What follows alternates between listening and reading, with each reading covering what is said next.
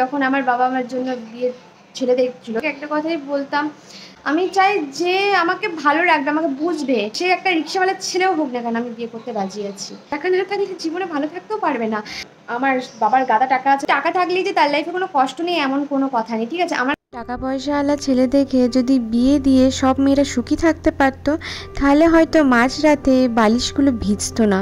চোখের জলে। Hello everyone আমি বৃষ্টি আমার আরেকটি নতুন ব্লগে তোমাদেরকে অনেক অনেক ওয়েলকাম কি বলতো, শরীর যদি ভালো না থাকে, তাহলে হয়তো কাজগুলো এইভাবেই লণ্ডভণ্ড হয়ে পড়ে থাকে। যেই দিকটা না দেখব, সেই দিকটারই এই অবস্থা। সকালবেলায় অর্ককে স্কুল নিয়ে গেছিলাম, তারপরে এসে জানি না কখন ঘুমিয়ে পড়েছি। আসলে দুপুরে খাবারটাও ঠিকঠাক করে খাওয়া হয়নি। মানে ওই শরীর খারাপ থাকলে যেটা হয়, ছেলেকে খাইয়েছি, নিজে খেতে পারিনি।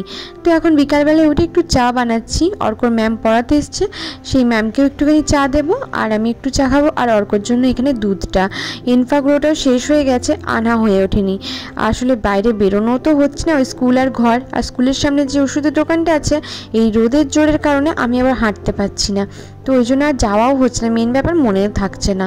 তো এখানে চাটা অর্ক ম্যামকে দিয়ে আসি। কাল থেকে কাজগুলো না পুরো লন্ডভন্ড হয়ে পড়ে আছে, সব কাজগুলো এবার সুন্দর করে গুছিয়ে বাগিয়ে রাখব।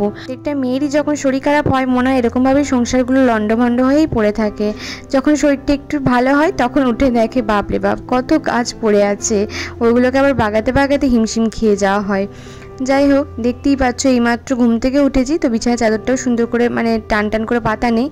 আর খুলেই দেখছি রোদের জোরের জন্য গাছগুলো কেমন নেতিয়ে পড়েছে। একটু জল দিয়ে দিই। দিয়ে এখানে একটুখানি ফোনটা নিয়ে আমি বসি। আসলে দুপুরবেলায় আমি সাধারণত ঘুমাই না। আর যদি ঘুমিয়ে যাই, বিকেলবেলায় উঠে এই টাইমটাতে আমি একবার ফোনটা নিয়ে চেক করি। মানে আমি দুপুর দুটোর সময় ভিডিও পোস্ট করি। তো বিকালবেলায় উঠে দেখি ঠিক কে কী কমেন্ট করল বা কতগুলো লাইক এলো বা ভিউজ এলো। বারবার করে চেক করি না। এতে কিন্তু ইউটিউব চ্যানেলে একটুখানি ক্ষতিই হয়। বারবার করে যদি তুমি চ্যানেলটাকে খোলা, পড়া, বন্ধ এইসব করো, আমার মনে হয়। তো চা খেতে খেতে তোমাদের ভালো ভালো যে কমেন্টগুলো করেছ, সেই কমেন্টগুলো বললাম। আর যে নেগেটিভ কমেন্টগুলো যেগুলো আমার মন খারাপ করে দেয়, সেগুলো ডিলিট করে দিই। রাতেবেলা আজকে খাবারে যে কি বানাবো মাথায় ঢুকছে না জানো তো? সকালে যেটা ছিল সেটা খাওয়া হয়ে গেছে। আর রাতের বেলায় না ফ্রিজে একটু চিকেন আছে, ভাবছি চিকেনটাই কিছু একটা করে দিই। কী করব মাথায় ঢুকছে না। দেখা যাক কী করা যায়। প্রতিদিন আমাকে চিন্তা করতে হয় আমি কি রান্না করব বিকালবেলায় উঠে, কারণ অর্ক তো সব মোটামুটি খায়। আমারই মাঝে মাঝে না কোনো কিছু খাবার মানে একভাবে খেতে থাকলে আমার নিজেরই ভালো লাগে না। আর কেন জানি না, এই গরমটার মধ্যে আজকে আবার হঠাৎ করে আমার ভাত খেতে একদমই ইচ্ছা করছে না। কেন জানি না, হঠাৎ করে এরকম হয়েছে। তো আমি ভাবলাম আজকে না রাতে একটু রুটি বানাই, কারণ আমার ভাত খেতে যেহেতু একদমই ইচ্ছা করছে না, আর ভাতটা করব না। অর্ককেও জিজ্ঞেস করলাম, অর্ক তো রুটি খেতে খুবই পছন্দ করে, তো ভাবলাম একটু রুটিই করে দিই। আর এদিকে বাসনগুলো দেখো সেই সকালবেলায় মাসি ধুয়ে গেছে আর ঠিকঠাক জায়গায় রাখা হয়নি। এইগুলো আগে ঢোকাই, তারপরে রান্না করব। নাহলে না ভালো লাগে না। দূর রান্নাঘরটা কেমন গ্যাঞ্জাম হয়ে থাকে। আর এখানে সব বাসনগুলো, কাচেরগুলোকে এখানে তুলে তুলে রেখে দিই। আমি আমি প্রতিদিন এগুলো ইউজ করি, আবার ঠিক নিজস্ব নিজস্ব জায়গায় রেখেও দিই।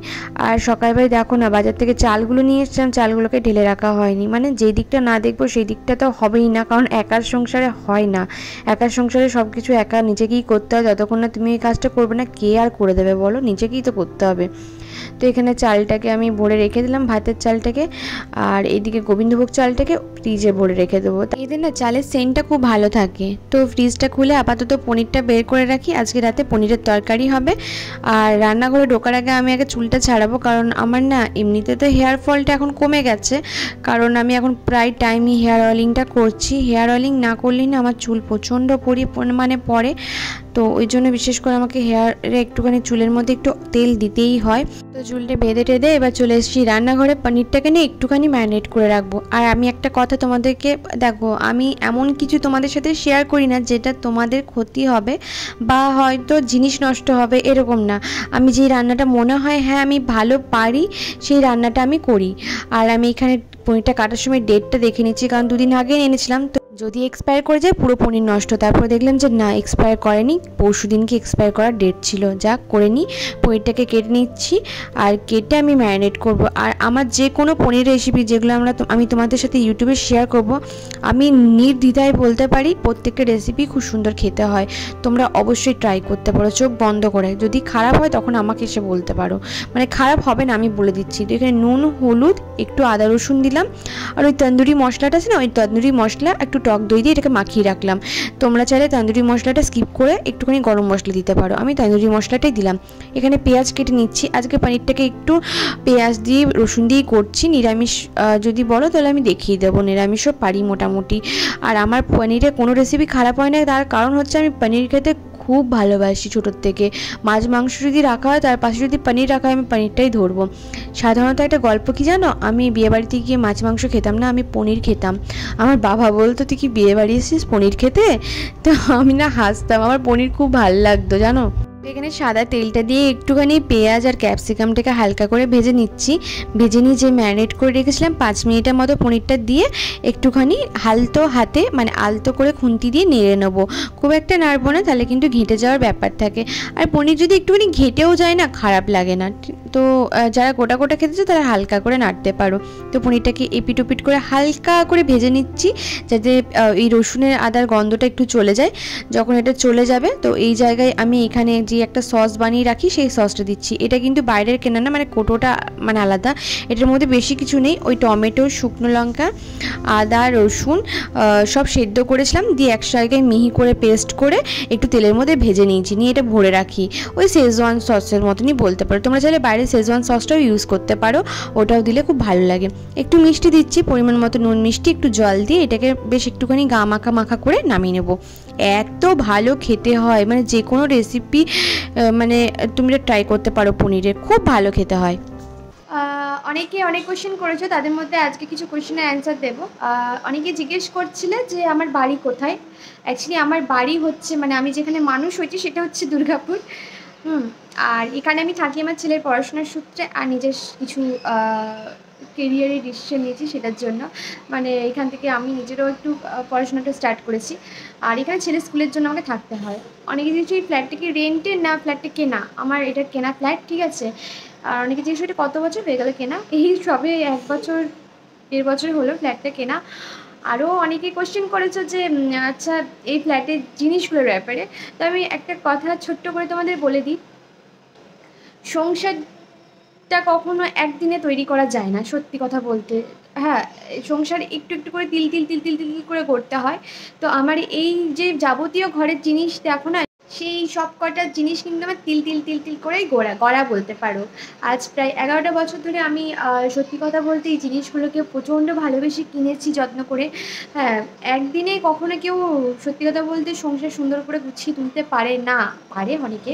কিন্তু আমি যেটা করেছি সেটাই বলছি, আমি একটু একটু করে জিনিস কিনে কিনে কিনে কিনে আজকে এই জায়গাটাতে এসছি আপাতত। এমন কিছু নেই আমার কাছে, তবু অনেকে দেখে অনেক কিছু মন্তব্য করে। তো সেই মন্তব্যর দ্বারাই আমি বলছি যে, দেখো সংসারটা একভাবে তো হয় না। একবারে তো ফট করে সব কিছু জিনিস কেনা সম্ভব হয় না সবার পক্ষে। তো আমি যথারীতি আমার সাধ্য মতো যতটুকু মানে পেরেছি আমি আস্তে আস্তে টুকি টুকি টুকি টুকি করে করেছি। আর সেকেন্ড হচ্ছে আমার গয়নার কোনো নেশা নেই সত্যি কথা বলতে। আমি ফার্স্ট মেয়ে যার কোনো গয়নার নেশা নেই। গয়না, শাড়ি, এইসব আমার নেশা নেই। আমার নেশা যদি থেকে থাকে তাহলে সেটা হচ্ছে ঘর সাজানো জিনিসের প্রতি। আর আমার এটা গায়েও লাগে না কেনার পর যে, ধর এটা কিনলাম ফালতু, এটার থেকে তো আমাদের বাড়িতে সবাই মোটামুটি গয়না পছন্দ, আমার কেন জানি আমার ভালো লাগে না গয়না। আমার গয়নার থেকে মনে হয় যে এই- এইগুলো, কারণ আমি প্রথম কথা আমি গয়না পরি না, আমার, তুমি দেখ, তোমরা দেখতে পাবে বাইরে টাইরে গেলে হয়তো কানের ফানের পরি, যদিও বা একটা ছোট্ট, কিন্তু আমাকে এমনি টাইমে কোনো দিনও তোমরা দেখতে পাবে না যে আমি পরি। আমি মানে আমার ভালো লাগে না গায়ের মধ্যে ওই পরে থাকতে বা ইয়ে তো ওই জন্য আমি পড়ি না, সত্যি কথা বলতে গয়না টয়না খুব একটা। আর অনেকে বলেছে তুই কানের পর মানে আমার কানের পর আমি শুতে প্রচণ্ড আবার প্রবলেম আমি পারি না। মানে একমাত্র হয়তো বাইরে টাইরে গেলে, বাইরে টাইরে গেলে হয়তো পড়ি, তারপরে এসে কিন্তু আবার খুলে দিই। মানে আমি রাখতে পারি না গো, আমার প্রচণ্ড প্রবলেম হয়, প্রচণ্ড। তো আরও অনেকে কমেন্ট করে বাবা তুমি এত বড় লোক, তাও তোমার লাইফে এত কষ্ট? কিসের কষ্ট? তুমি অনেকে বলো। তো আমি তোমাদেরকে আরেকটা কথা বলি। প্রচুর টাকা থাকলেই যে তার লাইফে কোনো কষ্ট নেই এমন কোনো কথা নেই, ঠিক আছে? আমার কাছে প্রচুর টাকা আছে বলে আমার লাইফে কোনো কষ্ট নেই, এটা কি করে হতে পারে বলো?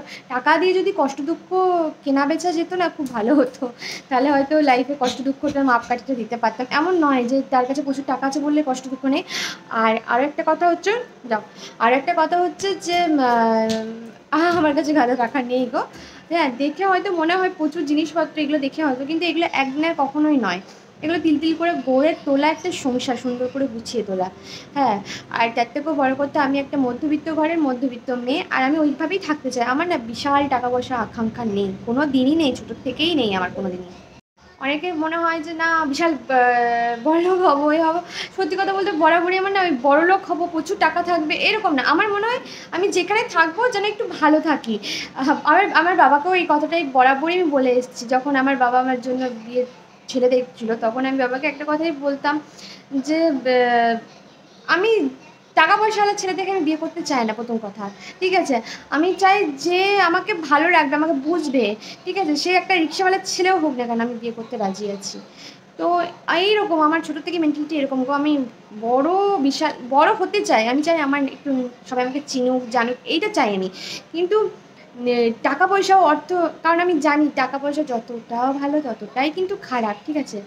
আর আমি এটাও বলছি না যে টাকা লাইফে দরকার নেই, টাকা লাইফে অবশ্যই দরকার, টাকা না থাকলে জীবনে ভালো থাকতেও পারবে না। তবে হ্যাঁ টাকা যতটুকু ভালো থাকার জন্য দরকার, ততটুকুই থাকা দরকার।